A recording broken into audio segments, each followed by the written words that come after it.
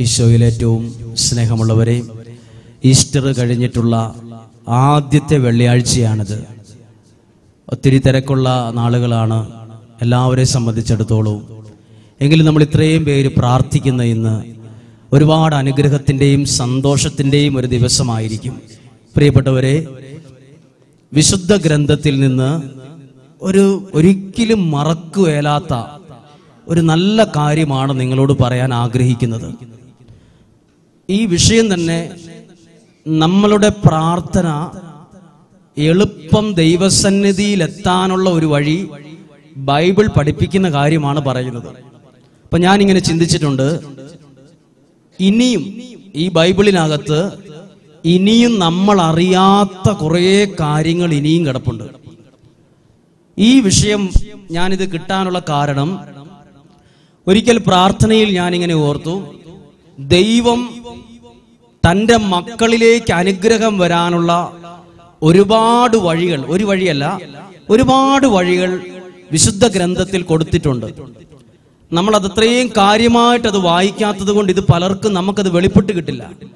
പക്ഷെ ചില സമയങ്ങൾ ദൈവസന്നിധിയിൽ ചെലവിടുമ്പോൾ ചില മണിക്കൂറുകൾ ദൈവസന്നിധിയിൽ നമ്മൾ മാറ്റിവെക്കുമ്പോൾ ചില ദൈവവചനങ്ങളിൽ ഇന്നു വരെ ആരും ചിന്തിച്ചിട്ടില്ലാത്ത ഒരു ആത്മീയ വഴി അനുഗ്രഹം കിട്ടാനുള്ള ഒരു വഴി ദൈവം ഒരുക്കി വച്ചിരിക്കുന്നത് എനിക്ക് കാണാനിടയായി. അത് ബൈബിളിൽ പുറപ്പാട് പുസ്തകത്തിൽ മുപ്പത്തിരണ്ടാം അധ്യായമാണ്. ഇത് വളരെ ശ്രദ്ധയോടെ കേട്ടാൽ നിങ്ങൾക്കത് ഒരുപാട് പ്രതീക്ഷയും നിങ്ങൾ പ്രാർത്ഥിക്കുന്ന കാര്യത്തിൽ വേഗത്തിൽ ദൈവം ഇടപെടുമെന്ന് ഞാൻ വിശ്വസിക്കുന്നു. കാരണം ഈ ബൈബിളിൽ ഇതുപോലെ പ്രാർത്ഥിച്ച ഈ വ്യക്തിയുടെ ജീവിതത്തിൽ ദൈവം വേഗത്തിൽ ഇടപെട്ടു. പറഞ്ഞേ ഹല്ലേ ലൂയ അവർക്ക് പറയാം ഹല്ലേ ലൂയ പുറപ്പാട് പുസ്തകം മുപ്പത്തിരണ്ടാം അധ്യായത്തിൽ മോശ സീനായ് മലയിലേക്ക് കയറിപ്പോയ സംഭവമാണ്. മോശ സീനായ് മലയിൽ കയറിപ്പോയി.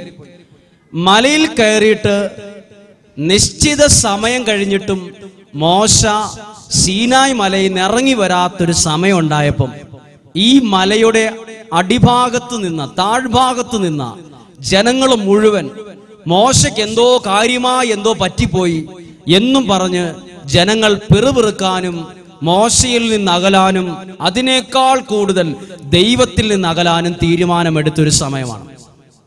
ഈ സമയത്ത് ഈ ജനങ്ങൾ ചെയ്തത് അവരുടെ എല്ലാം കഴുത്തേലും കാതിലും കിടക്കുന്ന സ്വർണം ഊരി മേടിച്ച് ഉരുക്കി വാർത്തിട്ട് കാളയുടെ ഒരു സ്വർണം കൊണ്ടുള്ള ഒരു കാളക്കുട്ടിയെ ഉണ്ടാക്കി. ഇത് ഉണ്ടാക്കാൻ ഉപയോഗിച്ച സ്വർണം അവരുടെ കാതിലും കഴുത്തിലും കിടന്ന സ്വർണം ഊരി അത് ഒരു സ്വർണം കൊണ്ടുള്ള ഒരു കാളക്കുട്ടിയുടെ രൂപത്തിൽ ഉണ്ടാക്കിയിട്ട് ദൈവത്തെ മറന്ന് ഈ കാളക്കുട്ടിയുടെ ചുവട്ടിൽ നിന്നുകൊണ്ട് താഴെ നിന്നുകൊണ്ട് ഇവർ മുഴുവൻ നൃത്തം ചെയ്യാനും കാളക്കുട്ടിയെ ദൈവമായി കണ്ട് ആരാധിക്കാനും തുടങ്ങി. ഇത് കണ്ടപ്പോൾ മലയുടെ മുകളിൽ സീനായി മലമുകളിൽ നിൽക്കുന്ന മോശയോട് ദൈവം ഒരു കാര്യം പറയുവാണ് ഈ ജനത്തെ ഞാൻ നശിപ്പിക്കും. കാരണം ഈജിപ്തിൽ നിന്ന് പുറത്തു കൊണ്ടുവന്ന ഈ ജനം പുറത്ത് മരുഭൂമിയിലൂടെയും ചെങ്കടലിലൂടെ നയിച്ച ദൈവത്തിന്റെ കരം ഇവർ മറന്ന് ഇതാ ഒരു കാളക്കുട്ടിയുടെ സ്വർണ വിഗ്രഹത്തിന്റെ മുമ്പിൽ കടന്ന് ഇതാ ദൈവം എന്നും പറഞ്ഞ് അവർ പ്രാർത്ഥിക്കുന്നു. എന്റെ ക്രോധം ആളിക്കത്തുകയാണ് അപ്പോൾ ദൈവം ഇസ്രായേൽ ജനത്തെ നശിപ്പിക്കാൻ തീരുമാനമെടുത്ത വിവരം ദൈവം മോശയോട് പറഞ്ഞു. ഹലേലുയ ശ്രദ്ധിച്ചു മോശയോടാണ് ഇത് പറഞ്ഞത്. ഇത് പറഞ്ഞപ്പോൾ മോശ അന്നേരെ കയറി മൂന്ന് തരം പ്രാർത്ഥനകൾ നടത്തി. ദൈവസന്നദ്ധിയിൽ മൂന്ന് തരം പ്രാർത്ഥനകൾ. രണ്ട് പ്രാർത്ഥനകൾക്കും ദൈവം ഒരു മറുപടിയും കൊടുത്തില്ല. അപ്പോഴാണ് ദൈവം ഇനി നിങ്ങളോട് പറയാൻ ഉദ്ദേശിക്കുന്ന വേഗത്തിൽ അത്ഭുതം നടക്കുന്ന ഒരു പ്രാർത്ഥന മോശ വഴി ദൈവം പഴയ നിയമത്തിൽ വെളിപ്പെടുത്തിയത്. അവർക്ക് പറയാമോ? ഹല്ലേ ദൈവത്തിന്റെ ക്രോധം ശ്രദ്ധിച്ചോ? ദൈവത്തിന്റെ ക്രോധം ഇസ്രായേൽ ജനത്തെ നശിപ്പിച്ചു കളയാൻ തീരുമാനമെടുത്ത ദൈവത്തിന്റെ ക്രോധം ആളിക്കത്തുമ്പം മോശ ചെയ്തത് ഇങ്ങനെയാണ്. ഒമ്പതാമത്തെ തിരുവചനം. മുപ്പത്തിരണ്ടാം അധ്യായം പതിനൊന്നാമത്തെ തിരുവചനം. മോശ കർത്താവിനോട് കാരുണ്യം യാചിച്ചുകൊണ്ട് പറഞ്ഞു പ്രാർത്ഥിച്ചു. അപ്പൊ മോശ ഒന്നാമത് പ്രാർത്ഥിച്ചത് ഇങ്ങനെയാണ്. ദൈവത്തിന്റെ കാരുണ്യം യാചിച്ചുകൊണ്ട് പ്രാർത്ഥിച്ചു. ഹാലേലുയ്യ ഈ വിഷയം നോക്കിക്കോ ദൈവം ഒരു മറുപടിയും കൊടുത്തില്ല. ദൈവത്തിന്റെ കാരുണ്യം അപേക്ഷിച്ച് മോശ ദൈവത്തോട് പ്രാർത്ഥിച്ചിട്ട് ഒരനുഗ്രഹവും ദൈവ ദൈവം മോശയോട് പറഞ്ഞില്ല. എന്നാ ഓക്കെ ഞാൻ നിന്റെ എന്റെ കരുണ നിങ്ങളിലേക്ക് വർഷിക്കാം. എന്റെ ക്രോധം ഞാൻ മാറ്റുന്നു. അവരിലേക്ക് ഞാൻ കരുണയും അനുഗ്രഹവും കൊടുക്കാൻ പോവാ. ഒന്നും പറഞ്ഞില്ല. മോശയുടെ ഒന്നാമത്തെ പ്രാർത്ഥന കഴിഞ്ഞു. അതിന് റിസൾട്ട് ഇല്ല കിട്ടിയില്ല. മോശ ഉടനെ അടുത്ത പ്രാർത്ഥന. ഒന്നാമത് പ്രാർത്ഥിച്ചത് കാരുണ്യം യോജിച്ചുകൊണ്ടാണ്. ഈ പ്രാർത്ഥന തെറ്റാണെന്നല്ല കേട്ടോ പറയുന്നത്. ഇതിനെല്ലാം ശക്തിയുണ്ട്. പക്ഷെ അതിനേക്കാൾ വേഗത്തിൽ ഒരാളുടെ ജീവിതത്തിൽ അനുഗ്രഹം വരുന്ന ഒരു പ്രാർത്ഥനയിലേക്കാണ് ഇത് ചെന്ന് നിൽക്കുന്നത്. ഉടനെ മോശ വീണ്ടും മുപ്പത്തിരണ്ടാം അധ്യായം പന്ത്രണ്ടാമത്തെ വചനത്തിൽ മോശ ദൈവസന്നതിയിൽ മധ്യസ്ഥ പ്രാർത്ഥന നടത്തി. രണ്ടാമത്തെ മോശയുടെ പ്രാർത്ഥന എങ്ങനത്തെ പ്രാർത്ഥനയാണ്? മധ്യസ്ഥ പ്രാർത്ഥനയാണ്. മധ്യസ്ഥം അപേക്ഷിച്ച് മോശ പ്രാർത്ഥിച്ചു. ദൈവം ഒരു മറുപടിയും കൊടുത്തില്ല. ഒന്നാമത്തെ പ്രാർത്ഥന ഏതാണ്? കാരുണ്യം ചോദിച്ചു പ്രാർത്ഥിച്ചു. രണ്ട് മാധ്യസ്ഥം തേടി പ്രാർത്ഥിച്ചു. മൂന്നാമത്തെ പ്രാർത്ഥന നിങ്ങൾ വളരെ ശ്രദ്ധയോടെ കേട്ടു. ഒരു പ്രത്യേക രീതിയിലാണ് രണ്ട് തരത്തിൽ പ്രാർത്ഥിച്ചിട്ടും മോശയ്ക്ക് ഒരു ഉത്തരവും കിട്ടിയില്ല. മൂന്നാമത്തെ പ്രാർത്ഥന ഇങ്ങനെയാണ്. പതിമൂന്നാമത്തെ വചനം. ഇങ്ങനെയാണ് മോശ ദൈവത്തോട് പറഞ്ഞത്. അവിടുത്തെ ദാസന്മാരായ അബ്രാഹത്തെയും ഇസഹാക്കിനെയും യാക്കോബിനെയും ഓർക്കണമേ. ആരെ ഓർത്താ മതി? മൂന്ന് പേരെ ഓർക്കണമെന്ന് ആര് പറഞ്ഞു? അബ്രാഹം ഇസഹാക്ക് യാക്കോബ്. ഇവർ മൂന്ന് പേരും ആരാ? ഒരു പ്രാർത്ഥനയും കേൾക്കുന്നില്ല. രണ്ട് രീതിയിൽ പ്രാർത്ഥിച്ചിട്ടും ഒരു ഉത്തരവും കിട്ടാതിരിക്കുമ്പോൾ മോശ ദൈവത്തോട് വേറെ രീതിയിൽ പ്രാർത്ഥിക്കുകയാണ്. മൂന്ന് പേരെ ഓർത്തണം. മൂന്ന് പേരെ ഓർക്കണം. ആരാണ് ഈ മൂന്ന് പേര്? അബ്രാഹത്തിന്റെ ദൈവം. ഇസഹാക്കിന്റെ ദൈവം യാക്കോബിന്റെ ദൈവം ദൈവം പോലും അറിയപ്പെടുന്നത് ആരുടെ പേരിലാ? അബ്രാഹത്തിന്റെ ദൈവം യാക്കോബിന്റെ ദൈവം ഇസഹാക്കിന്റെ ദൈവം. മൂന്ന് പേരുടെ പേര് പറഞ്ഞിട്ട് അവരുടെ ആ ദൈവം എന്ന് ബൈബിൾ എഴുതിയിട്ടുണ്ട്. അപ്പം ഈ മോശ പറയുവാണ് എന്നെ ഓർക്കണ്ട അബ്രാഹത്തെയും ഇസഹാക്കിനെയും യാക്കോബിനെയും നീ ഒന്ന് ഓർക്കണം. പറഞ്ഞേ ഹല്ലേ ലുയ്യ ഞാൻ അപ്പൊ ബൈബിൾ പരിശോധിച്ച് ഇവരൊക്കെ ഇത്രയും ഓർക്കാൻ മാത്രം ഇവരെ ദൈവം ഓർത്താൽ എന്തുകൊണ്ടാണ് ഇത്ര പെട്ടെന്ന് അനുഗ്രഹം വരാൻ കാരണം? അപ്പോൾ ഒരു കാര്യമുണ്ട്. ഈ അബ്രാഹവും ഇസ്ഹാക്കും യാക്കും ആരാന്നറിയാമോ? ഇവർ മൂന്ന് പേരും വിശ്വാസത്തിന്റെയും പ്രാർത്ഥനയുടെയും അത്യുന്നതമായ അവസ്ഥയിൽ നിന്ന മൂന്ന് പേരാണ് ഇവർ. അബ്രാഹം ഇസ്ഹാക്ക് യാക്കോബ്. കരങ്ങൾ ഉയർത്തി എന്ന് പറഞ്ഞേ ഹല്ലേ ലുയാ അവർക്ക് പറഞ്ഞേ ഹല്ലേ ലുയാ ഹല്ലേ ലുയാ ഇനി അടുത്തത്. ഇപ്പൊ മൂന്ന് തരത്തിൽ പ്രാർത്ഥിച്ചു. ഇനി അടുത്തത് ഒരു പ്രത്യേക രീതിയിലുള്ള ഒരു പ്രാർത്ഥനയാണ്. നിങ്ങൾ ഇന്ന് വരെ ചിലപ്പോൾ കേട്ടിട്ടുണ്ടാവില്ല. ഇത് ദൈവസന്നദ്ധിയിൽ ഇരുന്നപ്പോൾ ദൈവത്തിന്റെ പരിശുദ്ധാത്മാവ് ശരിക്കും ഇതൊരു പ്രാർത്ഥനയായി വെളിപ്പെടുത്തിയതാ. അത് വായിക്കുന്നതിന് മുമ്പ് നിങ്ങളോട് പറയാം എങ്ങനെയാ മോശ പ്രാർത്ഥിച്ചെന്നറിയോ മോശ പറഞ്ഞു ഇസ്രായേൽ ജനത്തെ നശിപ്പിക്കാൻ പോവാണല്ലോ അതിനു മുമ്പ് മോശ ദൈവത്തോട് പറയുവാണ് നീ ഇങ്ങനെ ഒരു കാര്യം പണ്ട് പറഞ്ഞിട്ടുണ്ടല്ലോ. ഇങ്ങനെയാ പറഞ്ഞത് ഞാൻ ഈ ജനത്തെ വർദ്ധിപ്പിച്ച് വലുതാക്കും ഉയർത്തും എന്ന് പറഞ്ഞിട്ടുണ്ട്. അപ്പൊ മോശ ദൈവത്തിന്റെ മുമ്പിൽ നിന്നിട്ട് പറയുവാണ് നീ ഇങ്ങനെ ഒരു വാഗ്ദാനം പണ്ട് നടത്തിയിട്ടില്ലേ? അപ്പൊ ആരെ ഓർമ്മിപ്പിച്ചത് മോശ? ദൈവത്തെ ദൈവം പറഞ്ഞ കാര്യം തന്നെ മോശ അത് എടുത്തിട്ട് മോശ ദൈവത്തെ ഓർമ്മപ്പെടുത്തി കൊടുത്തു. അത് ഞാൻ വായിച്ചു കേൾക്കാം. നിങ്ങളത് വായിച്ചു കേൾ ശ്രദ്ധിച്ചു കേട്ടോ. മുപ്പത്തിരണ്ടാം അധ്യായം പതിമൂന്നാമത്തെ വാക്യം. നിങ്ങളുടെ സന്തതികളെ ആകാശത്തിലെ നക്ഷത്രങ്ങളെ പോലെ ഞാൻ വർദ്ധിപ്പിക്കും. ഞാൻ വാഗ്ദാനം ചെയ്തിട്ടുള്ള ഈ നാട് മുഴുവൻ നിങ്ങളുടെ സന്തതികൾക്ക് ഞാൻ നൽകും. അവർ അതെന്നേക്ക് കൈവശമാക്കും എന്ന് അവിടുന്ന് ശപഥം ചെയ്തിട്ടുണ്ടല്ലോ. ആരാ അപ്പം മോശ? ദൈവത്തെ ദൈവം തന്നെ പറഞ്ഞൊരു കാര്യം. ഈ മോശ ദൈവത്തെ ഓർമ്മപ്പെടുത്തി. ഇതൊരു നല്ല പ്രാർത്ഥനയാണ്. മറക്കരുത്. അതായത് എങ്ങനെയാ നമ്മളത് ജീവിതത്തിൽ കൊണ്ടുവരുന്നത്? നമ്മൾ എപ്പോഴെങ്കിലും ഒറ്റയ്ക്കാവുകയാണെങ്കിൽ സങ്കടത്തിൽ ഇരിക്കുക ഒരൊറ്റപ്പെട്ട അവസ്ഥയിലാണെങ്കിൽ നമ്മൾ പ്രാർത്ഥിക്കണം. ആകെ ഒരു ഒറ്റപ്പെട്ട പോലെ തോന്നുവാണെങ്കിൽ പ്രാർത്ഥിക്കണം. ദൈവമേ ഒരിക്കലും അങ്ങ് അനാഥനായി വിടുകയില്ലെന്ന് അങ്ങ് പറഞ്ഞിട്ടുണ്ടല്ലോ. രോഗമുള്ള ഒരാൾ പ്രാർത്ഥിക്കണം. ദൈവമേ മരുന്നോ ലേപനമോ ഔഷധമോ അല്ല. ഞാൻ അവരെ സുഖപ്പെടുത്തുന്ന കർത്താവാണ്. വചനമയച്ച് സുഖപ്പെടുത്തുമെന്ന് നീ പറഞ്ഞിട്ടില്ലേ?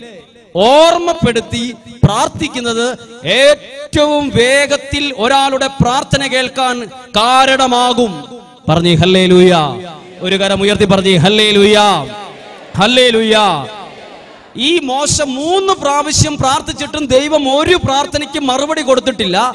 പക്ഷെ ഈ കാര്യം മോശ ദൈവം പറഞ്ഞ കാര്യം ഓർമ്മപ്പെടുത്തി പ്രാർത്ഥിച്ചപ്പോൾ എഴുതിയിരിക്കുന്നത് പെട്ടെന്ന് കർത്താവ് ശാന്തനായി തന്റെ ജനത്തിനെതിരെയുള്ള തീരുമാനത്തിൽ നിന്ന് ദൈവം പിന്മാറി പെട്ടെന്നൊരു അനുഗ്രഹം അവിടെ വന്നു. പ്രിയപ്പെട്ടവരെ നമുക്കെല്ലാവരുടെയും ഒരു ആഗ്രഹമാണ് എന്റെ കുടുംബം വേഗത്തിൽ അനുഗ്രഹം പ്രാപിക്കണം. എന്റെ ജീവിതം അനുഗ്രഹം പ്രാപിക്കണം. അത് പതുക്കെ പത് പത്ത് വർഷം കഴിഞ്ഞിട്ടല്ല വേഗത്തിൽ. അതിനൊരു നല്ല വഴിയാണ് ദൈവത്തെ ദൈവം പറഞ്ഞ കാര്യം തന്നെ ദൈവവചനത്തെ ഓർമ്മപ്പെടുത്തി പ്രാർത്ഥിക്കണം. ഹലേ ലുയ്യ പറഞ്ഞേ ഹല്ലേ ലുയ്യ നിങ്ങളിത് മനസ്സിലായി ഞാൻ വിചാരിക്കും. ഒന്നും കൂടെ വേഗത്തിൽ ഒന്ന് വേഗത്തിൽ പറയാം. മോശ കരുണയ്ക്ക് വേണ്ടി പ്രാർത്ഥിച്ചു. എപ്പം? ദൈവത്തിന്റെ ക്രോധം ആളിക്കത്തി ഇപ്പൊ നശിപ്പിക്കുമെന്ന് പറഞ്ഞപ്പം ദൈവം കരുണ മോശ കരുണയ്ക്ക് വേണ്ടി പ്രാർത്ഥിച്ചു. ദൈവം മറുപടി കൊടുത്തില്ല. മധ്യസ്ഥ പ്രാർത്ഥന നടത്തി. മൂന്നാമത്തെ പ്രാർത്ഥന അബ്രഹത്തെയും ഇസ്ഹാക്കിനെയും യാക്കോബിനെയും ഓർക്കണേന്ന് പറഞ്ഞു. ഇതൊന്നും ദൈവം ഒരു മറുപടിയും പറഞ്ഞില്ല. നാലാമത്തെ പ്രാർത്ഥന പ്രാർത്ഥിച്ചപ്പോൾ ദൈവം അന്നേരെ മറുപടി കൊടുത്തു. അതാണ് ദൈവം പറഞ്ഞ ഒരു കാര്യം തന്നെ മോശ ദൈവസന്നദ്ധിയിൽ നിന്ന് ദൈവത്തെ ഓർമ്മപ്പെടുത്തി. ഹലേലുയ്യ അവർക്ക് പറഞ്ഞേ ഹല്ലേലുയ്യ നിങ്ങളുടെ കുടുംബത്തിൽ ഭയങ്കര അസ്വസ്ഥതകളൊക്കെ ഫീൽ ചെയ്യുന്ന ആരെങ്കിലും പ്രാർത്ഥിക്കുന്നുണ്ടെങ്കിൽ ഇത് എവിടെയെങ്കിലും വരുന്ന ആരെങ്കിലും കാണുക വീട്ടിൽ ഒരു ഉയർച്ചയില്ല. എന്റെ വീട് എത്ര ചെയ്താലും നഷ്ടത്തിലേ ചെന്ന് നിൽക്കുന്നുള്ളൂ. ഒരു മേൽഗതിയില്ല. ഒരു ഉയർച്ചയില്ല തകർച്ചയാണ് കഷ്ടപ്പാടാണ്. എത്ര കൊല്ലമായി ഈ പൊട്ടക്കണിച്ച് കിടക്കുന്ന തവളയെ പോലെ വട്ടം കിടക്കുന്ന അവസ്ഥയാണെങ്കിൽ നിങ്ങളുടെ കുടുംബത്തിന് വേണ്ടി ഈശോ പറഞ്ഞിട്ടില്ലേ? ഈശോ പറഞ്ഞിട്ടില്ലേ? എന്നിൽ വിശ്വസിക്കുന്നവന്റെ കുടുംബം രക്ഷ പ്രാപിക്കുമെന്ന് പറഞ്ഞിട്ടില്ലേ? സക്കേബൂസിനോട് പറഞ്ഞു ഇന്ന് ഈ ഭവനത്തിന് രക്ഷ വന്നിട്ടിരിക്കുന്നു എന്ന് പറഞ്ഞില്ലേ? നമ്മൾ നമ്മുടെ കുടുംബത്തിൽ നിന്നുകൊണ്ട് പ്രാർത്ഥിക്കുമ്പം പറയണം ദൈവമേ അങ്ങ് വചനത്തിൽ പറഞ്ഞിട്ടുണ്ടല്ലോ ഈ വീട് രക്ഷിക്കപ്പെടുമെന്ന് അത് ഞാൻ ഏറ്റെടുത്ത് ആ വചനം എന്റെ കുടുംബത്തിന് വേണ്ടി ദൈവത്തെ ഞാൻ ഓർമ്മപ്പെടുത്തി പ്രാർത്ഥിച്ചാൽ ആ വീട് വിശുദ്ധീകരിക്കപ്പെട്ടിരിക്കും. പറഞ്ഞു ഹല്ലേ അവർക്ക് പറഞ്ഞു ഹല്ലേ ഇനി അടുത്തത് നമ്മൾ പ്രാർത്ഥിക്കുമ്പോൾ നമ്മൾ ഓർക്കുക ജീവിതത്തിൽ മുഴുവൻ തടസ്സങ്ങളും പ്രശ്നങ്ങളും മുന്നോട്ട് പോകാൻ പറ്റുന്നില്ല വഴി മുട്ടി പോലെയാണ്. ഇനി ഒരു വഴിയില്ല. അപ്പൊ നിങ്ങൾ പ്രാർത്ഥിക്കണം ഞാനാണ് വഴി ഈശോ പറഞ്ഞിട്ടുണ്ട്. എന്നിലൂടെ പ്രവേശിക്കുന്നവൻ രക്ഷപ്പെടുമെന്ന് പറഞ്ഞിട്ടുണ്ട്. അപ്പോൾ ഈശോയോട് നമ്മൾ പറയണം എന്റെ എല്ലാ വഴികളും അടഞ്ഞിരിക്കുകയാണ്. ഞാൻ എന്റെ അവസ്ഥകൾ ഈ പ്രശ്നമുള്ള അവസ്ഥയിൽ നോക്കി ഞാൻ പ്രാർത്ഥിക്കുകയാണ്. ഈശോയെ നീ പറഞ്ഞിട്ടുണ്ടല്ലോ ഞാനാണ് വഴിയെന്ന് ആ വിശ്വസിച്ച് എന്റെ കുടുംബത്തിന് എന്റെ പ്രശ്നത്തിൽ മാറാൻ വേണ്ടി അത് ഞാൻ ഏറ്റെടുത്ത് പ്രാർത്ഥിക്കുന്നു. ആ കാര്യം ദൈവത്തെ ഓർമ്മപ്പെടുത്തി പ്രാർത്ഥിക്കുമ്പോൾ ഞാൻ വിശ്വസിക്കുന്നു. ഈ പ്രതിസന്ധികൾ മാറും തടസ്സങ്ങൾ മാറും. രോഗമുള്ളവർ ഇങ്ങനെ പ്രാർത്ഥിക്കണം. കടബാധ്യതയുള്ളവർ പ്രാർത്ഥിക്കണം. എന്ത് കടബാധ്യതയിൽ കഴിയുന്ന ഒരു അഞ്ചപ്പം അയ്യായിരം പേർക്ക് കൊടുത്ത് ഈശോ ഇല്ലേ? അത് നിങ്ങളുടെ കുടുംബത്തിന് വേണ്ടി ഏറ്റെടുത്ത് അഞ്ചപ്പം അയ്യായിരം പേർക്ക് വേണ്ടി കൊടുത്തല്ലോ കർത്താവേ. ഞാനത് അങ്ങേ ഓർമ്മപ്പെടുത്തി എന്റെ കുടുംബത്തിന്റെ പ്രതിസന്ധികളെ ഈ കടബാധ്യതയെ മാറ്റണമേ നിങ്ങളൊന്ന് പ്രാർത്ഥിച്ചു നോക്കിക്കേ. നിങ്ങൾക്ക് എല്ലാവർക്കും ഒരു സാക്ഷ്യം പറയാൻ ദൈവം ഒരു അവസരം ദൈവം തന്നിരിക്കും. പറഞ്ഞേ ഹല്ലേ ഒരു കരം ഉയർത്തി പറഞ്ഞേ ഹല്ലേ ലുയാ ഹല്ലേ കരങ്ങൾ താഴ്ത്താം. പ്രിയപ്പെട്ട ഇതെന്തെന്നറിയോ? ദൈവം ദൈവത്തിന്റെ മക്കൾ അനുഗ്രഹം പ്രാപിക്കാനുള്ള വഴികൾ ദൈവവചനത്തിലുണ്ട്. നമ്മളിത് ദൈവസന്നതിയിൽ ഇരുന്ന് പ്രാർത്ഥിക്കുമ്പോൾ പരിശുദ്ധാത്മാവ് ഇത് നമ്മുടെ ഹൃദയ പലകയിൽ എഴുതി തരും ഇങ്ങനെ പ്രാർത്ഥിച്ചാൽ കുറേ ആളുകൾ ഈ പ്രാർത്ഥനയിലൂടെ അനുഗ്രഹം പ്രാപിക്കും. ഞാനിത് പറയാൻ തന്നെ കാരണം ഒരുപക്ഷെ ഈ ഒരു ദൈവവചനത്തിലൂടെ പുറപ്പാട് മുപ്പത്തിരണ്ടാം അധ്യായത്തിലൂടെ അനുഗ്രഹം പ്രാപിക്കാനുള്ള ഒരുപാട് പേര് ഇവിടെ ഇരിപ്പുണ്ടാവും. ഇനി നിങ്ങളൊരു കുറച്ച് മാസങ്ങൾ കഴിഞ്ഞ് നിങ്ങൾ ചിന്തിച്ചോ ഇതുപോലെ പ്രാർത്ഥിച്ച നിങ്ങൾ അനേകം ആളുകൾക്ക് ഒരു സാക്ഷി പറയാൻ ഈ കുരിശിൻ ചുവട്ടിൽ നിൽക്കാനുള്ള ഭാഗ്യം ദൈവം തന്നിരിക്കും. ഒരു പ്രവചനം പോലെ നിങ്ങൾ അത് സ്വീകരിച്ചു? എവിടെ ഇരിക്കുന്നവരാണേലും ആരായിരുന്നാലും ഈ കുരിശിൻ ചുവട്ടിൽ നിന്ന് ഒരു സാക്ഷ്യം പറയാൻ ദൈവം ഒരു അവസരം ഒരുക്കിയിരിക്കും ഹലേ ലുയ്യ അവർക്ക് പറഞ്ഞേ ഹലേ ഒരു രീതി നമ്മൾ കണ്ടു. ദൈവത്തെ ഓർമ്മപ്പെടുത്തി പ്രാർത്ഥിച്ചു. അടുത്ത ഒരു പ്രാർത്ഥനാ വിഷയം കൂടി നിങ്ങളുടെ ശ്രദ്ധയിൽ കൊണ്ടുവരാണ് പെട്ടെന്ന് അതായത് അഞ്ച് മിനിറ്റിനുള്ളിൽ ഒരാളുടെ പ്രാർത്ഥന കേട്ട സംഭവം ബൈബിളിലുണ്ട്. എത്ര മിനിറ്റ് അഞ്ച് മിനിറ്റിനുള്ളിൽ അത്രയും പ്രാർത്ഥന കേട്ട ഒരു സംഭവം വേറെ എവിടെയും മോൾ വായിക്കുന്നത് അഞ്ച് മിനിറ്റ്. അതായത് അത് രണ്ട് രാജാക്കന്മാരുടെ പുസ്തകം ഇരുപതാം അധ്യായത്തിലാണ് അഞ്ച് മിനിറ്റ് കൊണ്ട് ഒരാളുടെ പ്രാർത്ഥന കേട്ടു. അഞ്ച് അഞ്ച് മിനിറ്റ്. അത് നിസ്സാരമായ ഒരു കടബാധ്യത മാറിയെന്നോ ഒരു ചെറിയൊരു രോഗം മാറിയെന്നൊന്നുമല്ല. വലിയൊരു അവസ്ഥയിൽ നിന്ന് പെട്ടെന്ന് അത്ഭുതം നടന്നൊരു സംഭവം. അത് ഹെസക്കിയ എന്ന വ്യക്തിയെ കുറിച്ചാണ് ഹെസക്കിയ ഹെസക്കിയ രോഗബാധിതനായി മരണത്തോട് മല്ലിട്ട് കട്ടിലിൽ ഇങ്ങനെ കിടക്കുമ്പം ദൈവം ഒരു പ്രവാചകനെ ഏഷ്യ പ്രവാചകനെ ഈ എസക്കിയായുടെ വീട്ടിലേക്ക് അയാൾ കിടക്കുന്ന കട്ടിലേക്ക് രോഗിയായ അവസ്ഥയിലേക്ക് അയച്ചു. എന്നിട്ട് ദൈവം ഏശയ്യായോട് പറഞ്ഞു നീ ചെന്ന് ഹെസക്കിയായോട് പറ എല്ലാ കാര്യം ക്രമപ്പെടുത്തിക്കോ പെട്ടെന്ന് മരിക്കും. ഇതാരാ പറഞ്ഞത്? പ്രവാചകനല്ല പറഞ്ഞത് ദൈവമാണ് പറഞ്ഞത്. അപ്പൊ ഇനി യാതൊരു മാറ്റവും ഇല്ലാത്ത കാര്യമാണ്. ഇത് കേട്ടപ്പം നമ്മൾ ആരെങ്കിലും ആ ഇങ്ങനെ കേൾക്കുന്നേ നമ്മൾ എങ്ങനെയേ പ്രാർത്ഥിക്കുള്ളൂ? ദൈവമേ ആ കഷ്ടം ആ രോഗം മരണം മാറിപ്പോണേന്നേ പ്രാർത്ഥിക്കുള്ളൂ. ഹെസക്കിയ മാറിപ്പോകണം എന്ന് പ്രാർത്ഥിച്ചില്ല. നമ്മൾ ആരാ ഈ ലോകത്തിലെ ആരിങ്ങനെ ഒരു വിഷയം കേട്ടാലും നമ്മളോട് പറയുക നിങ്ങൾക്കൊരു ഒരു തകർച്ച വരാനുണ്ട്. നമ്മൾ പ്രാർത്ഥിക്കുന്നത് എങ്ങനെയാ? തകർച്ച മാറിപ്പോണേന്നാണ്. രോഗം വരാൻ സാധ്യതയുണ്ടെന്ന് പറഞ്ഞാലോ രോഗം മാറിപ്പോണേന്ന് പ്രാർത്ഥിക്കും. നിങ്ങളുടെ കുടുംബത്തിലേക്ക് ഒരു പരാജയം വരുന്നതായിട്ട് കാണുന്നുണ്ടല്ലോ എന്ന് ആരെങ്കിലും പറഞ്ഞാൽ നമ്മൾ അന്നേരം പ്രാർത്ഥിക്കും ആ പരാജയം മാറിപ്പോണേന്ന്. ഹെസക്കിയായോട് പറഞ്ഞു നീ മരിക്കും. പെട്ടെന്ന് മരിക്കും എന്ന് പറഞ്ഞപ്പം പ്രാർത്ഥിക്കേണ്ടത് എങ്ങനെയാ? ആ മരണം മാറിപ്പോണേന്നല്ലേ പ്രാർത്ഥിക്കേണ്ടത്? പക്ഷേ ഹെസക്കിയ ദൈവമക്കളെ ഇന്നും ജീവിക്കുന്ന നമ്മളെ ഒരു പുതിയ പ്രാർത്ഥന പഠിപ്പിച്ചിട്ടുണ്ട് കേട്ടോ. ഇങ്ങനെയാണ് പ്രാർത്ഥിച്ചത്. അതെല്ലാവർക്കും പ്രാർത്ഥിക്കാൻ പറ്റില്ല കേട്ടോ. ഇരുപതാം അധ്യായം മൂന്നാമത്തെ വാക്യം. ഹെസക്കിയ ചുവരിലേക്ക് ഭിത്തിയുടെ അടുത്തേക്ക് മുഖം തിരിച്ചുകൊണ്ട് കർത്താവിനോട് പ്രാർത്ഥിച്ചു. മരണം മാറിപ്പോണേ രോഗം സുഖമാകണേ നല്ല പ്രാർത്ഥിച്ചത് കേട്ടോ. കർത്താവേ ഞാൻ എത്ര വിശ്വസ്തമായും ആത്മാർത്ഥതയും കൂടിയാണ് ഇത്രയും നാൾ അങ്ങയുടെ മുമ്പിൽ പ്രവർത്തിച്ചത് എന്ന് ഒന്ന് ഓർക്കണമേ എന്ന് പറഞ്ഞു. ഇതാണ് പ്രാർത്ഥന. എന്താ പ്രാർത്ഥിച്ചത്? രോഗം പിടിപെട്ട് മരണത്തിന്റെ വക്കിൽ നിൽക്കുമ്പോൾ ഏശയ്യ പ്രവാചകൻ വഴി ദൈവം പറഞ്ഞു നീ മരിക്കൂന്ന്. മരിക്കൂന്ന് പറഞ്ഞപ്പോ മരിക്കല്ലേ? രോഗം മാറിപ്പോണേ സുഖപ്പെടുത്തണെന്നൊന്നും പ്രാർത്ഥിച്ചില്ല.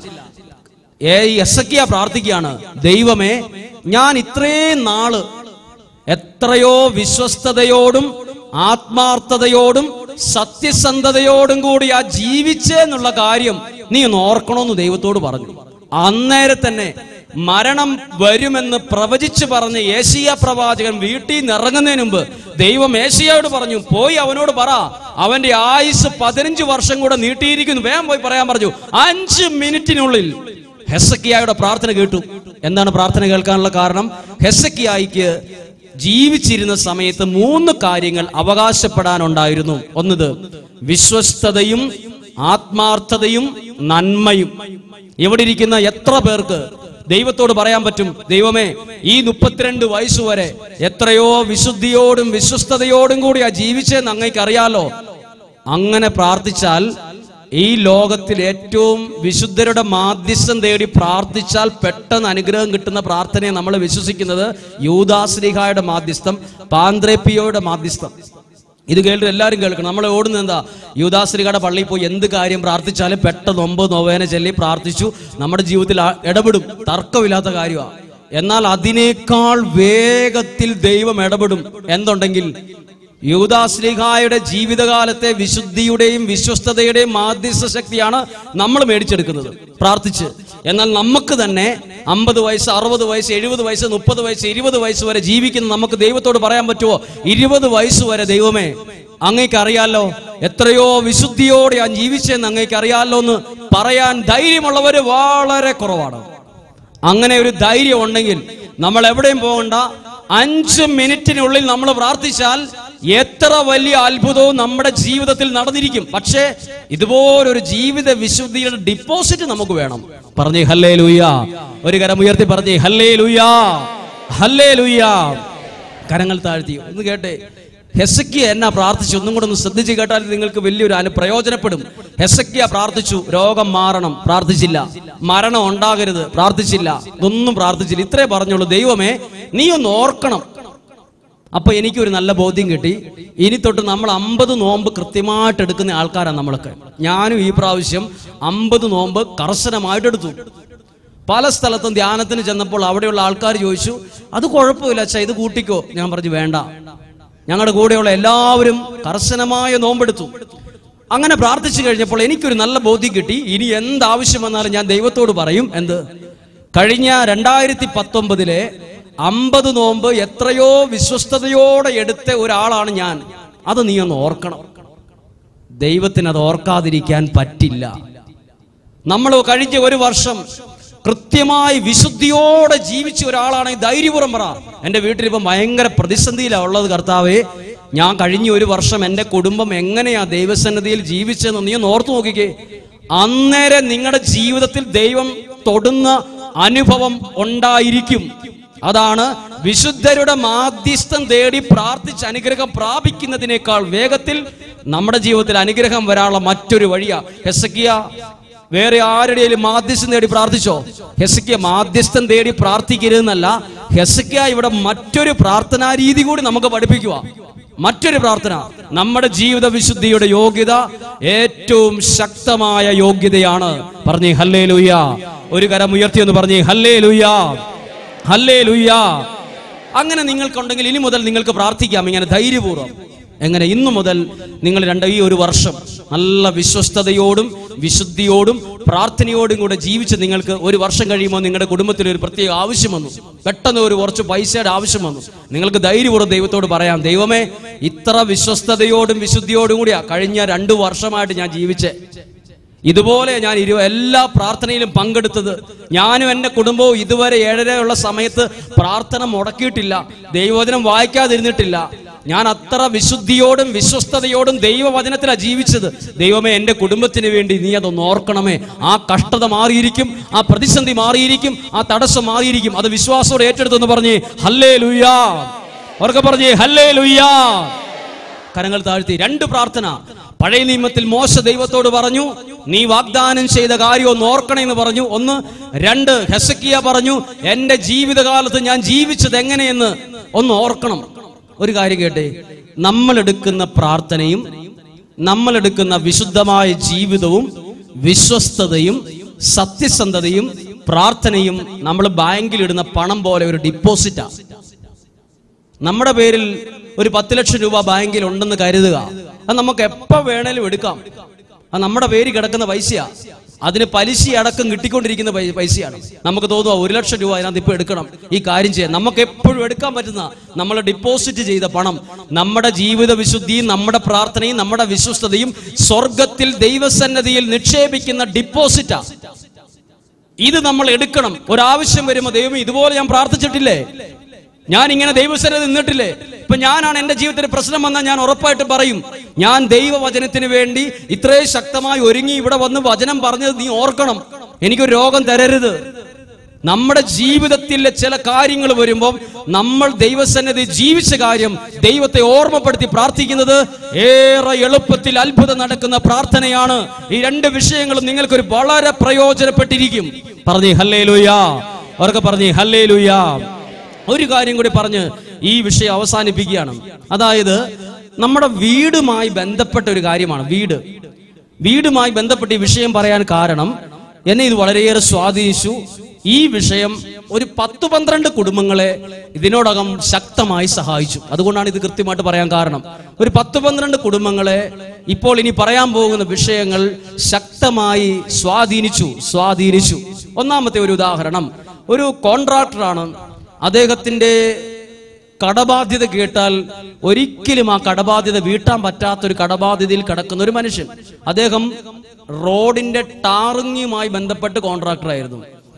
പക്ഷെ അദ്ദേഹത്തിന് ഒരുപാട് പൈസ പന്ത്രണ്ട് കോടി രൂപയോളം കടത്തിലാണ്. അദ്ദേഹത്തിന്റെ സ്ഥലവും വീടും മുഴുവൻ എത്ര വില കിട്ടി വിറ്റിയാലും ഒരു അഞ്ചു കോടി രൂപയെ കിട്ടത്തുള്ളൂ. ബാക്കി എങ്ങനെയെന്നുള്ള കാര്യത്തിന് ഒരു ഒരു ഒരു ഒരു ശതമാനം പോലും സാധ്യതയില്ലാത്ത ഒരു വിഷയമാണ്. അപ്പോൾ ഈ ഒരു കുടുംബം പ്രാർത്ഥിക്കാനായിട്ട് വരികയാണ്. കോടികൾ കടം. നമ്മുടെ ബുദ്ധി കൊണ്ട് നമ്മളോട് ചോദിച്ചാൽ നമ്മൾ പറയും നിങ്ങൾ നന്നായിട്ട് പ്രാർത്ഥിക്കുക ഞങ്ങൾ നിങ്ങൾക്ക് വേണ്ടി പ്രാർത്ഥിക്കും. ഇത് കൂടുതൽ ഉത്തരവില്ല വേറെ പറയാം. കാരണം വിൽക്കാൻ പത്ത് വേറെ കുറെ സ്ഥലം ഉണ്ടെങ്കിൽ നമുക്ക് ഓക്കെ സ്ഥലം വിറ്റ് കടം വീട്ടാനൊക്കെ പറയാം. ഇത് മുന്നിൽ ഒരു സാധ്യതയില്ല. പക്ഷെ ആ കുടുംബത്തിൽ ഒരു പ്രതിസന്ധി കിടപ്പുണ്ടായിരുന്നു. ഒരു പ്രതിസന്ധി. അദ്ദേഹം ഈ ജോലിക്കാരെ കൈകാര്യം ചെയ്യുന്നത്. അദ്ദേഹത്തിന്റെ ജോലിക്കാര് അത് അയാളുടെ വീട്ടിൽ വെച്ചാണ് പണം കൊടുക്കുന്നത് കൂലി കൊടുക്കുന്നത് വീട്ടിൽ വെച്ച്. അതായത് അയാളുടെ കീഴിൽ പണിയെടുക്കുന്ന വീട്ട് ആളുകൾക്ക് ശമ്പളം കൊടുക്കുന്നത് ശനിയാഴ്ച മാസത്തിൽ അയാളുടെ വീട്ടിൽ നിന്ന് കൊടുക്കും. പക്ഷെ അയാൾ ഒരിക്കലും മര്യാദയ്ക്ക് കൂലി കൊടുക്കുകയല്ല. കൂലി കൊടുക്കത്തില്ല. പിടിച്ചു വച്ചേ കൊടുക്കുള്ളൂ. അയാൾ ആ പിടിച്ചു വെച്ച പണം അയാളുടെ ജീവിതത്തെ ആദ്യകാലത്തൊന്നും ബാധിച്ചില്ല.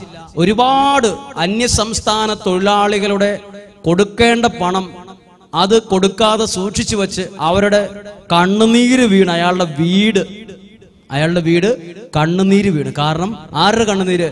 പണിക്കാരുടെ കണ്ണുനീര്. ഇവിടെ നിങ്ങളുടെ കൂടെ നിങ്ങളുടെ വീട്ടിൽ പണിയെടുക്കുന്ന ആരേലും ഉണ്ടെങ്കിൽ അവനൊരു പത്ത് രൂപ കുറച്ച് കൊടുത്തിട്ട് ആ വ്യക്തിയുടെ കണ്ണുനീര് നമ്മുടെ പറമ്പിലോ വീട്ടിലോ വീഴരുത്. അവൻ അഞ്ഞൂറ് രൂപ കൂലി ഉണ്ടെങ്കിൽ നാനൂറ്റമ്പത് മതി. പൊക്കോ അമ്പത് പിന്നെ തരാം.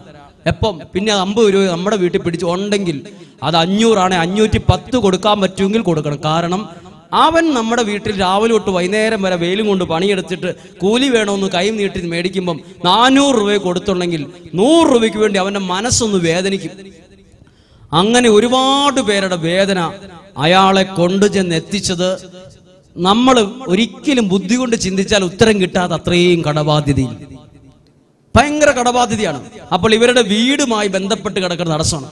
അപ്പോൾ ഈ വീടിന്റെ പ്രശ്നം മാറാൻ ഒരു പ്രാർത്ഥനാ രീതി ആ വ്യക്തിക്ക് നിർദ്ദേശിച്ചു കൊടുത്തതാണ് ഉൽപ്പത്തി പുസ്തകത്തിലുള്ളത്.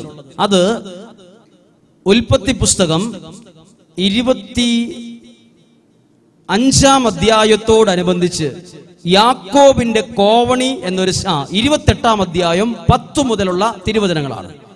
ഈ വഴിയാണ് ഞാൻ അദ്ദേഹത്തോട് പറഞ്ഞു കൊടുത്തത്. നിങ്ങൾക്ക് പ്രയോജനപ്പെടുമെങ്കിൽ അത് നിങ്ങളെ ഉപകരിക്കും നിങ്ങൾക്ക് സഹായമാകും. ഒരു ദിവസം യാക്കോബ് സൂര്യൻ അസ്തമിച്ചപ്പം ഒരിടത്ത് ഒരു കല്ലെടുത്ത് തലയണയാക്കി വെച്ചിട്ട് അവിടെ കിടന്ന് ഉറങ്ങി ഉറങ്ങാൻ കിടന്നപ്പം യാക്കോബിന് ഒരു ദർശനമുണ്ടായി ഒരു കോവണി. കോവണിയുടെ പ്രത്യേകത കോവണി നമ്മുടെ ഭാവനയിൽ ഒന്നെങ്കിൽ ഏണി എന്ന് പറഞ്ഞാൽ അത് മുളക് പറിക്കാനൊക്കെ കയറുന്ന അത് ഏണി. കോവണി എന്ന് പറയുമ്പോൾ രണ്ട് തട്ടുകൾ അടിച്ചാണ് കോവണി. യാക്കോബ് ഒരു സ്വപ്നം കാണുവാണ്. കിടക്കുന്ന സ്ഥലത്ത് ചുവടുറപ്പിച്ചിരിക്കുന്ന ഒരു കോവണി. അതിന്റെ അറ്റം പോയി നിൽക്കുന്നത് ആകാശത്ത് സ്വർഗത്തിന്റെ അത്രയും ഉയരമുള്ള ഒരു കോവണി. ചുമ്മാ ഒരു കോവണി മാത്രമല്ല അതിൽ നിന്ന് കുറെ പേര് ദൂതന്മാർ ഇറങ്ങുന്നു. ഒരു സൈഡിൽ കൂടെ ഇറങ്ങുന്നു ഇപ്പുറ സൈഡിൽ കൂടെ കയറിപ്പോകുന്നു അപ്പൊ ഞാൻ ഒരിക്കൽ പ്രാർത്ഥനയിൽ ദൈവത്തോട് ആലോചിച്ചു ഇതെന്താണ് ഈ കോമണി കൊണ്ട് ദൈവം വചനത്തിലൂടെ ഉദ്ദേശിച്ചത്? അപ്പോൾ ഒരു വിശുദ്ധന്റെ അനുഭവമാണ് ബൈബിളിലൂടെ എനിക്കത് മനസ്സിലാക്കാൻ കഴിഞ്ഞത്. ഒരു സംഭവം ഫിലിപ്പിനേരി എന്ന് പറഞ്ഞ വിശുദ്ധൻ അദ്ദേഹം പ്രാർത്ഥിക്കുന്ന സമയത്ത് കാണുമായിരുന്നു കോവണി എന്ന് പറയുന്നത് അതൊരു ഭക്തന്റെ പ്രാർത്ഥനാ ജീവിതമാണ്. കോവണി.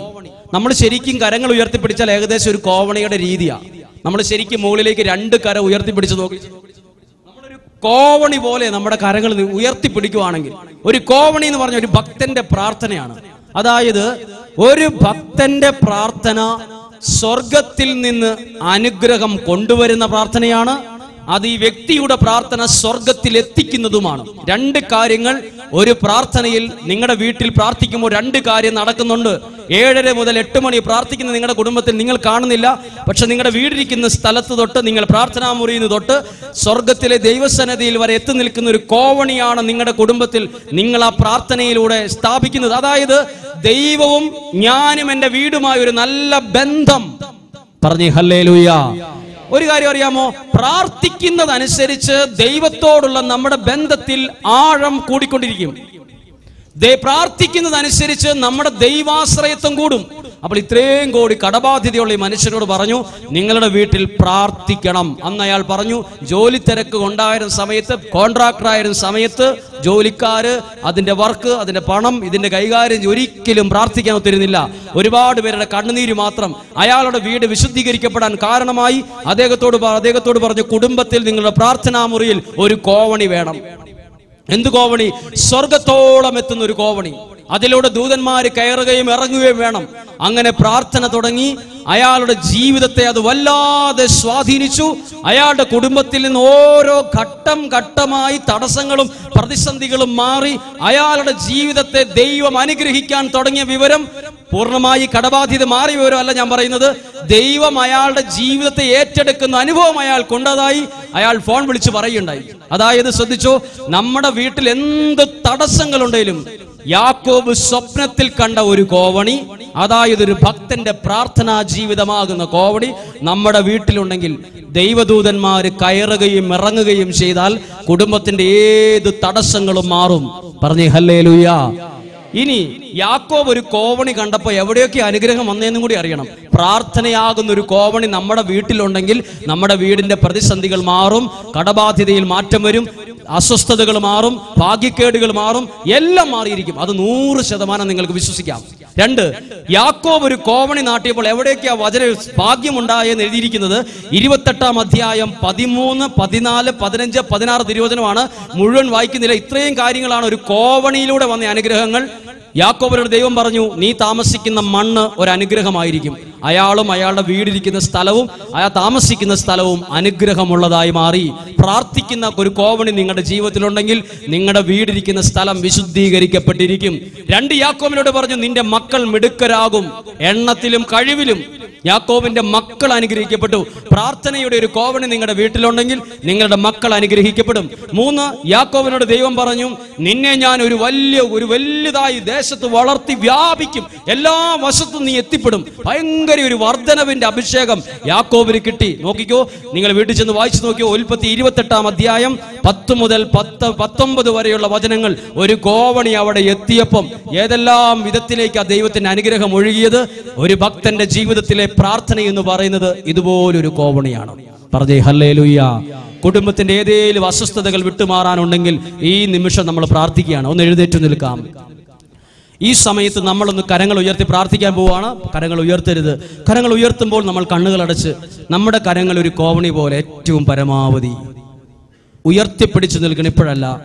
നമ്മൾ ഒരു നിമിഷം ഒന്ന് പ്ര- കണ്ണുകളടച്ച് പ്രാർത്ഥിച്ചേ യാക്കോബ് ഒരു സ്വപ്നം കണ്ടു. ദർശനം. ഈ ദർശനത്തിന്റെ പ്രത്യേകത ദൈവദൂതന്മാർ ഇറങ്ങിച്ചെല്ലുന്ന ഒരു കോവണി ദൈവദൂതന്മാർ കയറിപ്പോകുന്ന ഒരു കോവണി ഇതുപോലൊരു കോവണി നമ്മുടെ ഭവനത്തിൽ വേണ്ടേ? ആ കോവണിയുടെ പേരാണ് ഒരു വ്യക്തിയുടെ പ്രയർ ലൈഫ് പ്രാർത്ഥനാ ജീവിതം. പ്രാർത്ഥന എന്റെ ദൈവത്തോടുള്ള ബന്ധത്തിൽ കാര്യമായ വർധന ഉണ്ടാക്കും. ഞാൻ പ്രാർത്ഥിക്കുന്നയാളാണെന്ന് പറഞ്ഞാൽ അതിന്റെ അർത്ഥം എന്റെ ദൈവത്തിൽ ആശ്രയിക്കുന്നതിന്റെ കാര്യത്തിൽ ഞാൻ ഒരു സ്റ്റെപ്പും കൂടി ആഴപ്പെട്ടു എന്നാണ്. അങ്ങനെയെങ്കിൽ ഒന്ന് കണ്ണുകളടച്ച് നിങ്ങളുടെ ഭവനത്തിൽ ഏതെങ്കിലും അസ്വസ്ഥത ഉണ്ട് എന്നും വഴക്കാണ്. വീട്ടിലൊരു സമാധാനമില്ല ഒരു യോജിപ്പില്ല. എത്ര പണം കിട്ടിയാലും വീട്ടിൽ കൊണ്ടുവന്ന് വരുമ്പോഴേ നൂറാവശ്യം അത് തീർന്നു. ഒരു തരത്തിലും ഉയർച്ചയില്ല. വളർത്തുമൃഗങ്ങൾക്കാണ് ഒന്നിനു പുറകെ ഒന്നായി രോഗം. നിങ്ങളുടെ മണ്ണ് വീടിരിക്കുന്ന സ്ഥലത്തെ മണ്ണ് അതിന്റെ ചുറ്റുപാടുകളും വിശുദ്ധീകരിക്കപ്പെടണോ? ഈ നിമിഷം പ്രാർത്ഥിച്ചാൽ ഒരു അത്ഭുതം നടക്കും. രണ്ട് എസക്കിയ എങ്ങനെയാ പ്രാർത്ഥിച്ചത്? ദൈവമേ നിന്റെ ജീ സന്നിധിയിൽ ഞാൻ എങ്ങനെയാ ജീവിച്ചെന്ന് ഓർക്കണം. നോക്കിക്കേ നമ്മൾ ചിലപ്പോൾ വിശുദ്ധിയോടെ വിശ്വാസത്തോടെ പ്രാർത്ഥനയോടെ ജീവിക്കുന്ന ആൾക്കാരെ കളിയാക്കും. എന്തിനാണോ ഇങ്ങനെ പ്രാർത്ഥിക്കുന്നത് എന്നാൽ ഓർത്തു അത് ദൈവസന്നതിയിൽ സ്വർഗത്തിലെ ബാങ്കിൽ നമ്മൾ ഇടുന്ന ഡിപ്പോസിറ്റ് പോലെയാ നമ്മുടെ വിശ്വാസം നമ്മുടെ വിശുദ്ധി. അത് നമ്മൾ വിശ്വാസത്തോടെ ജീവിച്ചാൽ ഒരു പത്ത് വർഷം കഴിഞ്ഞ് എനിക്കൊരു സങ്കടം വന്നാൽ എനിക്ക് ദൈവത്തോട് ധൈര്യമായിട്ട് പറയാൻ പറ്റും. ഞാൻ എങ്ങനെയാ ജീവിച്ചെന്ന് ദൈവമേ നീ ഓർക്കണമേ. ഈ നിമിഷങ്ങളിൽ അത്ര സന്തോഷത്തോടെ രണ്ട് കരങ്ങളും പരമാവധി ഉയർത്തിപ്പിടിച്ച് ഒരു നിമിഷം നമ്മൾ എല്ലാവരും സ്തുതിക്കുമ്പോൾ ഞാൻ വിശ്വസിക്കുന്നു നിങ്ങളുടെ കാര്യങ്ങളിൽ നിങ്ങളുടെ വിഷയങ്ങളിൽ നിങ്ങളുടെ പ്രാർത്ഥനകളിൽ ദൈവം ശക്തമായി ഇടപെടും. കരങ്ങൾ ഉയർത്തി സ്തുതിക്കുന്നു. ദൈവത്തിന്റെ ഇടപെടലിനെ പ്രാർത്ഥിക്കുന്നു. ഓ ദൈവമേ ദൈവമേ ശക്തിപ്പെടുത്തണമേ ബലപ്പെടുത്തണമേ അഭിഷേകം ചെയ്യണമേ അഭിഷേകം ചെയ്യണമേ അഭിഷേകം ചെയ്യണമേ ഒരു വിടുതൽ കൊടുക്കണമേ കൊടുക്കണമേ. എസക്കിയ അനുഗ്രഹം പ്രാപിച്ചതുപോലെ ഒരു അഭിഷേകം ഒരു അനുഗ്രഹം ഇപ്പോൾ അങ്ങ് അയക്കണമേ.